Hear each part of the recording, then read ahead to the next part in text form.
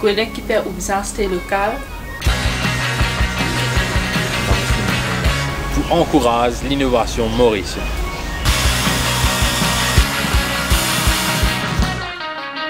Pour créer l'emploi.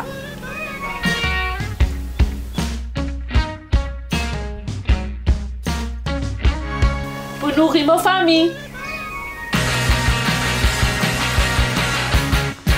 À cause qualité. Nous et non.